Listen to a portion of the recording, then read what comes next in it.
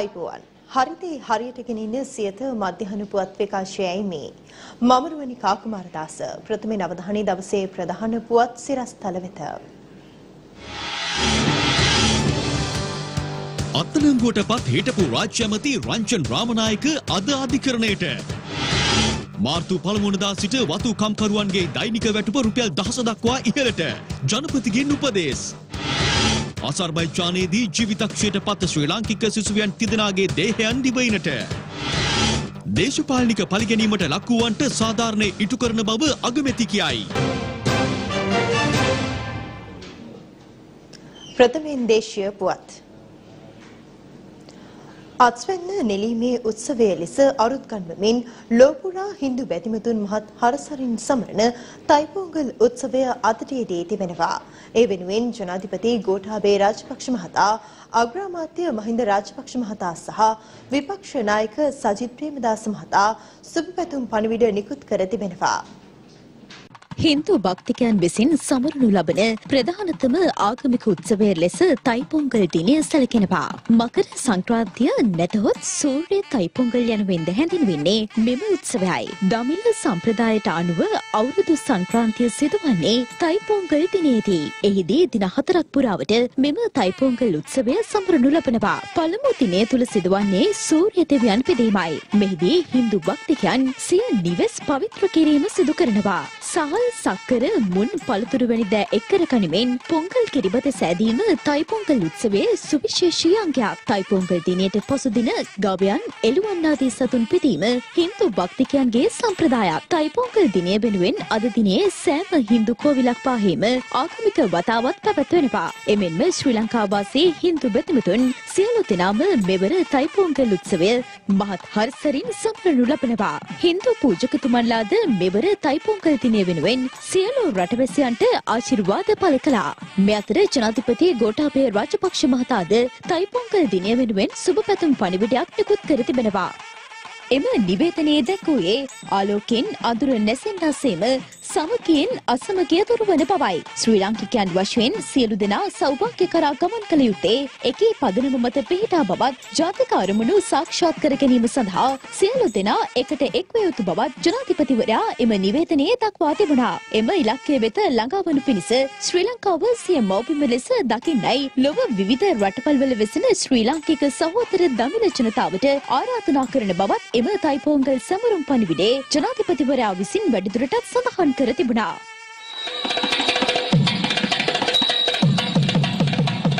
வணக்கம். உங்கள் எல்லோருக்கும் இனிய தாய்ப்போங்க நல்வாழ்த்துக்கள். எமது தேசம் சகல வளங்களும் கொண்டதாகும். எமது தேசத்தில் முன்னேற்றம் அபிவிருத்தி என்பதில் எல்லா மக்களும் ஒன்றாக முயற்சி செய்தால் அனைவரும் நன்மை அடையலாம். தாய்ப்பிருந்தால் வழி பிறக்கும் அனைத்து இன மக்களுக்கும் சமத்துவம் மற்றும் சுபாகியம் நிறைந்து அண்டாக அமையட்டும். நன்றி வணக்கம்.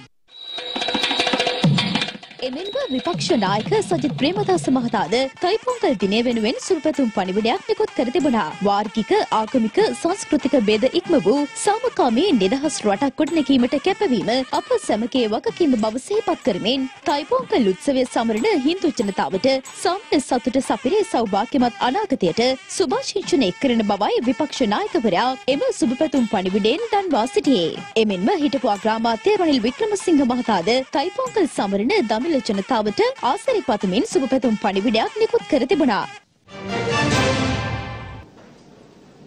වතුකම්කරුවන්ගේ දෛනික අවම වැටුප මාර්තු මස පළවනදා සිට රුපියල් දහසක් දක්වා ඉහළ දැමීමට ජනාධිපති ගෝඨාභය රාජපක්ෂ මහතා තීරණය කර තිබෙනවා. වතු කම්කරුවන්ගේ දෛනික අවම වැටුප මාර්තු පළවනදා සිට රුපියල් දහසක් දක්වා ඉහළ දැමීමට ජනාධිපති ගෝඨාභය රාජපක්ෂ මහතා තීරණය කර තිබෙනවා. මීට සමගාමීව යටිතල පහසුකම් ඇතුළු වතු ක්ෂේත්‍රයේ සියලුම අංශ කඩිනම් සංවර්ධනයට පියවර ගන්නා ලෙසයි ජනාධිපතිවරයා උපදෙස් ලබා දී ඇත්තේ. තේකර්මාන්තයේ ගුණාත්මකභාවය සහ ඵලදායීතාවය ඉහළ නැංවීමට රජය පියවර රැසක් ගෙන තිබෙනවා. දැනට බලපැවැත්වෙන බදු ඉවත් කිරීම පොහොර සහනාධාරය ඇතුළු සහන රැසක් මීට ඇතුළත්. මෙම සහන හිමිවන්නේ වතු සමාගම්වලට බැවින් එහි ප්‍රතිලාභ වතුකම්කරුවාටද හිමිවිය යුතු බවයි ජනාධිපතිවරයා අවධාරණය කරන්නේ. ජනාධිපතිවරයා සිය ජනාධිපතිවරණ ප්‍රතිපත්ති ප්‍රකාශය තුළද වතු කම්කරුවන්ගේ වැටුප රුපියල් දහසක් දක්වා ඉහළ නංවන බවට ප්‍රකාශ කර තිබුණා. සියලුම බුද්ධ්‍යංශ නියාමනය සහ බලගැන්වීම සඳහා ජාතික බුද්ධි පනතක් නමින් නව පනතක් කෙටුම්පත් කිරීමට කැබිනට් අනුමැතිය හිමි වේ තිබෙනවා. අද පැවති කැබිනට් තීරණ දැනුම්දීමේ මාධ්‍ය හමුවේදී කැබිනට් ප්‍රකාශක අමාත්‍ය බන්දුල ගුණවර්ධන මහතා මේ පිළිබඳව අදහස් පළ කළා.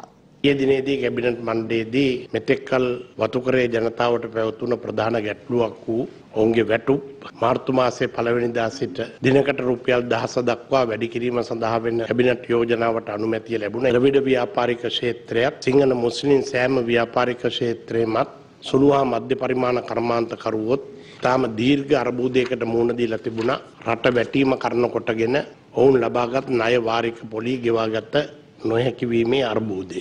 පාස්කු ප්‍රහාරය නිසා නෙමෙයි 2015 රජය පටන් ගත්ත වර්ෂයේ සිට දිගින් දිගටම රට කඩාගෙන වැටුණා. හොඳට තිබුණ රටක් අපිට වෙච්ච දෙයක් කියලා තමයි ජනතාව කීවේ. මේ තත්ත්වය මැතිතුමා දීර්ඝ සාකච්ඡාවට ගණනාවක් ශ්‍රී ලංකා මහ බැංකුවත් වාණිජ බැංකුවත් පුද්ගලිකාංශයේ මූල්‍ය ආයතන සමග සාකච්ඡා කළා. ඊයේ දිනේදී කැබිනට් මණ්ඩලයේ තීරණය කරනු ලැබුවා. සුළු හා මධ්‍ය පරිමාණ ව්‍යවසායකයන් සඳහා ණය සහන පැකේජයක් හඳුන්වා දෙන්න. මේ ණය සහන පැකේජය මේ වර්ෂයේ දෙසැම්බර් 31 වෙන තෙක් වර්ෂයක කාල පරිච්ඡේදයකට අදාළ වෙනවා. මේ අනුව සියලුම දේපොළ වෙන්දේසි කිරීම හා නීත්‍ය අනුකූලව නඩු පැවරීමේ ක්‍රියාවලිය සියලුම බැංකු ආයතනවල වර්ෂයකට නතර වෙනවා. ග්‍රිප් එකට ගිය සියලුම ව්‍යාපාරික ආයතනවලට දඩපොලි කපා හැරීම සඳහා ඒ ණය ආපසු ගෙවීම සඳහා සහන කාල පරිච්ඡේදයක් ලබා දීම සඳහා අතිරේක කාරක ප්‍රාග්ධන අවශ්‍යතා සඳහා අර තිබෙන ප්‍රශ්නය නොසලකා හැර අතිරේක ණය මුදලත් සපයා දීම සඳහා විශේෂ විධිවිධාන සකස් කරලා තිබෙනවා. දේශපාලන පක්ෂ පාට ભેදයෙන් තොරව තමන්ගේ ගණදෙනුකාර බැංකුව වෙතට යාමෙන් මේ සඳහා ලබාගත හැකි සහන පිළිබඳ විස්තරාත්මක කරුණු දැනගන්න පුළුවන්කම ලැබෙනවා. ඉතා හොඳින් ව්‍යාපාර කරන්න යන විශේෂ අනුග්‍රහයක් දෙන්න කටයුතු යොදලා තිබෙනවා. මිලියන 300ක් දක්වා. තනි ඉලක්කමේ පොලිය තමන්ගේ ව්‍යාපාරය මේ වර්ෂය තුලදී පුළුල් කිරීම සඳහා අතිරේක ණය මුදලක් ලබා දෙන්නටත් විධිවිධාන සලසලා තියෙනවා. ඒ නිසා 20යි 20 වර්ෂයේ ව්‍යාපාර පණ ගැනීම සඳහා තවදුරටත් ව්‍යාපාර දියුණු කිරීම සඳහාත් අදාළ වෙන ණය සහන පැකේජයකට කැබිනට් මණ්ඩලයේ අනුමැතිය ලබා දුන්නා. ගෝඨාභය රාජපක්ෂ ජනාධිපතිතුමා රට බාර ගන්න අවස්ථාවේදී ජනතාවට ප්‍රතිඥාවක් දුන්නා. සිංහල දෙමළ මුස්ලිම් බර්ග සියලු ජනතාව ඇසක් මෙන් රැක බලා ගැනීම සඳහා වෙන වගකීම එතුම බාර ගන්නවා කියලා. ඒ අනුව ඕනෑම රටක ජාතික ආරක්ෂාව සඳහා අතිශයින් වැදගත් වෙනවා බුද්ධ්‍යංශ. ඔවුන්ගේ රාජකාරීමේ වගකීම් ආරක්ෂා කරන්න. මුක්තිය ලබා දෙන්න. බුද්ධ්‍යංශ වලට නෛතික බලයක් ලබලා දෙන්න. ඒ අනුව ජාතික කර්තව්‍යයන් ඉෂ්ට කර ගැනීම සඳහා වෙන නව පනත් කෙටුම් පතක් රාජ්‍ය බුද්ධි පනත යනුවෙන් කෙටුම්පත් කිරීම සඳහා නීතිපතිවරයාට පැවරීම සඳහා වෙන කැබිනට් යෝජනාවක් ඊයේ සම්මත වුණා. නිශ්චිත බලතල සහිත නීතිමය තත්ත්වයක් තුළ බුද්ධ්‍යංශ ක්‍රියාත්මක වීමට අවශ්‍ය නෛතික බලය ලබා දීම සඳහා බුද්ධ්‍යංශ නියාමනය කිරීමට බුද්ධ්‍යංශ වලට ඇතිවන බලපෑම් වැළැක්වීමටත් අදාළ වෙන ආකාරයේ නව බුද්ධි පනතක් කෙටුම්පත් කිරීම සඳහා වෙන බලය නීතිපතිතුමාට පවරා තිබෙනවා. අධිකරණ විනිසුරුවරුන්ගේ රාජකාරියට බලපෑම් කිරීම සම්බන්ධයෙන් අත්අඩංගුවටගත් පාර්ලිමේන්තු මන්ත්‍රී රංජන් රාමනායක මහතා අද නුගේගොඩ මහේස්ත්‍රාත් අධිකරණය වෙත ඉදිරිපත් කිරීමට නියමිතව තිබෙනවා. අධිකරණ විනිසුරුවරුන්ගේ රාජකාරියට බලපෑම් කිරීම සම්බන්ධයෙන් අත්අඩංගුවටගත් පාර්ලිමේන්තු මන්ත්‍රී රංජන් රාමනායක මහතා අද නුගේගොඩ මහේස්ත්‍රාත් අධිකරණය වෙත ඉදිරිපත් කිරීමට නියමිතයි. කොළඹ අපරාධ කොට්ටාසය මගින් මොහු ඊයේ අත්අඩංගුවට ගනු ලැබුවේ මාදිවැල මන්ත්‍රී නිවාස සංකීර්ණයේ පිහිටි ඔහුගේ නිවසේදී. රංජන් රාමනායක මන්ත්‍රීවරයා අත්අඩංගුවට ගන්නා ලෙස නුගේගොඩ මහේස්ත්‍රාත් අධිකරණය ඊයේ වරෙන්තුවක් නිකුත් කළා. ඒ රංජන් රාමනායක මන්ත්‍රීවරයාගේ හඬපට සම්බන්ධයෙන් සිදු කළ විමර්ශනයන්ට අදාළව ආණ්ඩුක්‍රම ව්‍යවස්ථාවේ එකසේ එකොළහ ඈ දෙක ව්‍යවස්ථාව යටතේ කටයුතු කරන ලෙස නීතිපතිවරයා ලබා දුන් උපදෙස්වලට අනුවයි. දේශපාලන පලිගැනීම් වලට ලක්වුවන් සම්බන්ධයෙන් සොයා බලා ඔවුන්ට සාධාරණත්වයේ ඉටු කරන බව අග්‍රාමාත්‍ය මහින්ද රාජපක්ෂ මහතා පවසනවා. අග්‍රාමාත්‍යවරයා මේ බව ප්‍රකාශ කළේ අටලියගහ මන්දිරයේ පැවති සාකච්ඡාවකට එක්වෙමින්. ශ්‍රී ලංකා පොදුජන පෙරමුණ හා ශ්‍රී ලංකා නිදහස් පක්ෂ වෘත්තීය සමිතියක මුතුව අග්‍රාමාත්‍ය මහින්ද රාජපක්ෂ මහතා හමු වුණා. එහිදී අග්‍රාමාත්‍ය මහින්ද රාජපක්ෂ මහතා විපක්ෂ නායක සමයේ පිහිට වූ ඔම්බුඩ්ස්මන් කාර්යාලයට ලැබී ඇති පැමිණිලි සහ මහින්ද ආපා බේවර්ධන අමාත්‍යවරයාගේ ප්‍රධානත්වයෙන් පිහිට වූ දේශපාලන පැමිණිලි සම්බන්ධයෙන් සොයා බැලීමේ කමිටුවට ලැබෙන පැමිණිලි සම්බන්ධයෙන් සලකා බැලුණා. රාජ්‍ය සේවයේ එදී සිටියදී කිසියම් වරදක් කිරීම හේතුවෙන් සේවය අත්හිටුවීම වැනි සිදුවීම් දේශපාලන පරිගැනීම් ලෙස නොසලකන බව මෙහිදී අග්‍රාමාත්‍යවරයා දැඩිව අවධාරණය කළා. එවැනි සිදුවීම් සම්බන්ධයෙන් දේශපාලනික වශයෙන් මැදිහත් වීමක් ජනතාව වත්මන් රජයෙන් අපේක්ෂා නොකරන බවද අග්‍රාමාත්‍යවරයා වෘත්තීය සමිති නායකයින් හමුවේ සඳහන් කළා. ශ්‍රී ලංකා පොදුජන පෙරමුණ හා ශ්‍රී ලංකා නිදහස් පක්ෂය නියෝජනය කරමින් මෙම අවස්ථාවට එක් වූ වෘත්තීය සමිති නායකයින් පෙන්වා දුන්නේ පසුගිය රජය සමයේ සිය සමාජිකයන්ගේ සේවය අත්හිටුවීම, සේවා ස්ථාන මාරු කිරීම, ධූරයෙන් පහළ දැමීම වැනි දේශපාලනික පරිගැනීම් සිදුව ඇති බවයි. එවැනි සිදුවීම් ඇතනම් අමාත්‍ය මහින්දයාපා අබේවර්ධන මහතාගේ ප්‍රධානත්වයෙන් පත් කළ දේශපාලන පරිගැනීම් සම්බන්ධයෙන් සොයා බැලීමේ කමිටුවට වාර්තා කිරීමට හැකි බව අග්‍රාමාත්‍යවරයා මෙහිදී වැඩිදුරටත් සඳහන් කළා. එමෙන්ම දේශපාලන පරිගැනීම් වලට ලක් වූවන් සම්බන්ධයෙන් සොයා බලා ඔවුනට සාධාරණත්වය ඉටු කරන බව අග්‍රාමාත්‍ය මහින්ද රාජපක්ෂ මහතා මෙහිදී ප්‍රකාශ කළා. අසර්බයිජානයේ මහල් නිවාසයක ඇති වූ ගෙන්නක් හේතුවෙන් මියගිය ශ්‍රී ලාංකීය සිසුවියන් තිදෙනාගේ මෘතදේහයන් අද පෙරවරුවේ දිවයිනට රැගෙන වෙත් තිබෙනවා.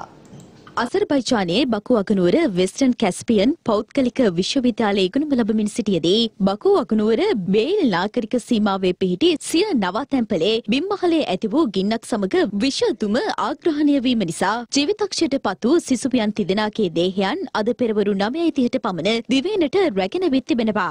දෝහා සිට පැමිණි යානයකින් අදාළ දේහයන් ත්‍රිත්වය මෙරටට රැගෙන විත් ඇති බවයි අප ගුවන්තොටුපළ වාර්තාකරු සඳහන් කළේ. කටාර්හි දෝහා ශ්‍රී ලංකා තානාපති කාර්යාලය සහ ඉරානයේ මෙහරාන් ශ්‍රී ලංකා තානාපති කාර්යාලයේ සම්බන්ධීකරණයෙන් අදාළ සිසුවියන් තිදෙනාගේ සිරුරු මෙරටට ගෙන විත් තිබෙනවා. ගින්න සම්බන්ධයෙන් අසර්බයිජාන් පොලිසිය සහ එරට ගිනිනිවීමේ අංශ විමර්ශන පවත්වනු ලැබූ අතර එහිදී අදාළ නිවසේ විදුලි පරිපථයක හටගත් දෝෂයක් හේතුවෙන් මෙම ගින්න හටගෙන ඇති බවටයි තොරතුරු අනාවරණය වී තිබෙන්නේ. අභාව ප්‍රාප්ත ප්‍රවීණ රංගනවේදී ආචාර්ය ජයලත් මනෝරත්න මහතාගේ දේහය පිළිබඳ අවසන් කටයුතු අද පස්වරු පහට බොරලැස්කමුව පොදු සුසාන භූමියේදී සිදු කිරීමට නියමිතයි.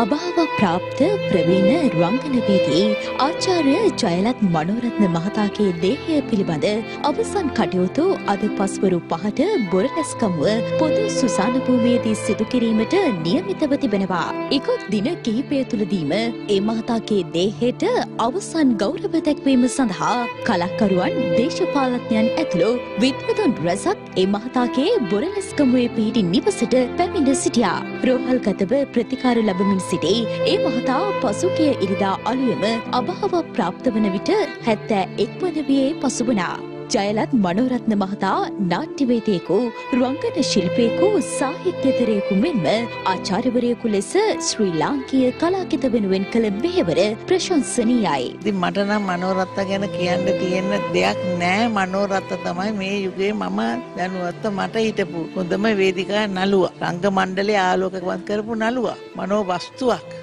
විර නැතුණා. එච්චරයි. අලුත් වේදිකා නාට්‍යයක් ඉදිරිපත් කරන්න පර්යේෂණ කරපු මහත්මයෙක් ඒ වගේ කෙනෙක් අපට ආය හම්බෙයිද කියලා හිතන්නවත් බෑ. දැන් කලාලෝකේ අපිට මිත්‍රයෝ ඕන තරම් ඉන්නවනේ. ඒ අතර මිත්‍රයෝ ඉන්නේ හරිම ටිකයි. ඒ අතරේ හොඳ මිතුරෙක් තමයි මනෝ.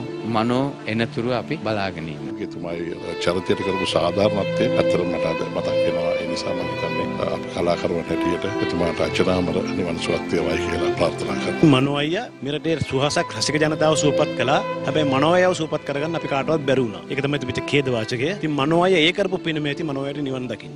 මේ අතර දශක හතරකට අධික කාලයක් කලාකෙත සුපෝෂණය කළ ආචාර්ය ජයලත් මනෝරත්නයන් ඇගීම වෙනුවෙන් සියත TV අප විසින් පියුම්විල වැඩසටහන ඔස්සේ ප්‍රවීණ රංගන ශිල්පී වසන්ත දුගන්නාරාල මහතාගේ සහ ප්‍රවීණ රංගන ශිල්පිනී රත්නා ලාලිනී ජයකොඩි මහත්මියගේ ප්‍රධානත්වයෙන් විශේෂ වැඩසටහනක් අද පැවැත්තුවා. ඒ ගෙදර වැඩිපුරම නටලා තියෙන්නේ ඇඳක් උඩ. ඊ තරම් සතුට විවාහා ගියාම ඇඳවල උඩ හිටන්න කියලා නටනවා.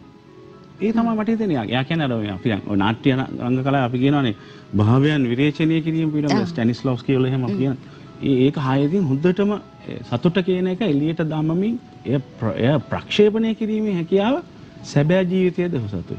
අර ප්‍රේක්ෂාගාරයේ හොඳ ප්‍රතිචාර තියෙනවනම් ප්‍රේක්ෂාගාරය පිරී ඉතිරිලා ගිහිල්ලා නම් නාට්‍ය අවසානයේදී අන්දරේලා නාට්‍යයේදී හොඳට විඳිනවා කියලා දැනගත්තාම දැනුණාම අර අවසානයේ තියෙනවා මේ මං දැන් ගිහිල්ලා එන්නම් එහෙනම් දිගටම කරගෙන යන්න කියලා අන්දරේ යනවා. මැරිලා ඉඳලා ඊට පස්සේ නැගිටලා කියනවා මම එහෙනම් ගිහිල්ලා එන්නම් කියලා පොඩ්ඩක් මෙහෙම නටල වෙරලා යන්න යන්න තියෙන්නේ.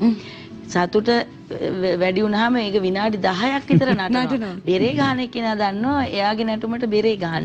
ඉතින් වටේ ගිහිල්ලා අන්තිමට දැන් යන්න වගේ ගිහිල්ලා මෙහෙම යන්න ගිහිල්ලා ආයෙ එනවා. ආයෙ වෙලා ඒ වගේ ඉතින් ඇත්තටම ඔහු හරිම සතුටින් ගත්තා. ගුරුතරුව කියන්නේ මම හිතන්නේ මේ සමස්ත ශ්‍රී ලාංකිකයන්ගේ හදවතේ ගොඩක් දැනිච්ච ඔබ එතන ඉන්න නිසා ඒ මතකයන් එක මොන හරි පොඩි කවියක් අපිට කතා කියන්න පුළුවන් වේද ඔහුගේ මතකේ. ගුරුතරුවේ කවියක්. ලපනුමවන් සඳමින් සුමිගුණ ගිහිනි.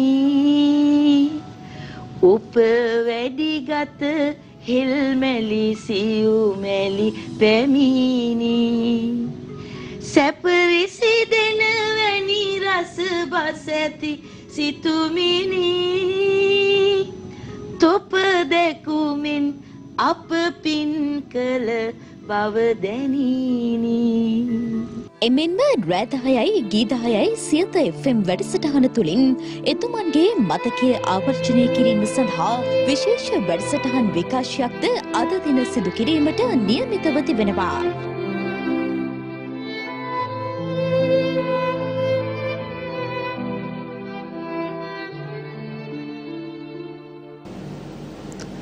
මිරිහාන පොලිසියේ පරිසර ඒකකයට අනුයුක්තව සේවය කළ පොලිස් පරීක්ෂකවරයෙකු අද පෙරවරුවේ සිය රාජකාරී ගිනි අවියෙන් වෙඩි තබාගෙන සියදිවි හානි කරගෙන තිබෙනවා. මිරිහන පොලිසියේ පරිසර ඒකකයට අනුයුක්තව සේවය කරන පොලිස් පරීක්ෂකවරයෙකු අද උදෑසන සිය රාජකාරී ගිනිඅවෙන් හිසට වෙඩි තබාගෙන සියදිවි හානි කරගෙන තිබෙනවා. මොහු වයස අවුරුදු 36ක් වන කැලණිය නාරම්මිනිය ප්‍රදේශයේ පදිංචිකරුවෙකු බවයි වාර්තා වන්නේ. මිරිහන පොලිස් කොට්ටාසය තුලදී අද උදෑසන 8ට පමණ මෙලෙස වෙඩි තබා ගැනීම සිදු කර ඇති අතර ඔහු කළුබෝවිල රෝහලට ඇතුළත් කිරීමෙන් අනතුරුව ජීවිතක්ෂයට පත්ව ඇති බවයි අප කළ විමසීමකදී පොලිස් මාධ්‍ය කොට්ටාශය සඳහන් කළේ. වෙඩි තබා ගැනීමට හේතුව මෙතෙක් අනාවරණය නිර්මාණය වී නැහැ. සිද්ධිය සම්බන්ධයෙන් වැඩිදුර විමර්ශන මිරිහන පොලිසිය විසින් සිදු කරනු ලබනවා. සියත මධ්‍යහන පුවත් විකාශය නිමාවට පත්වනවා. සුබ දවසක්. දිනපතා අලුත් වීඩියෝ සහ ප්‍රවෘත්ති නැරඹීමට ඉහත බටන එක ක්ලික් කර සියත TV සබස්ක්‍රයිබ් කරන්න.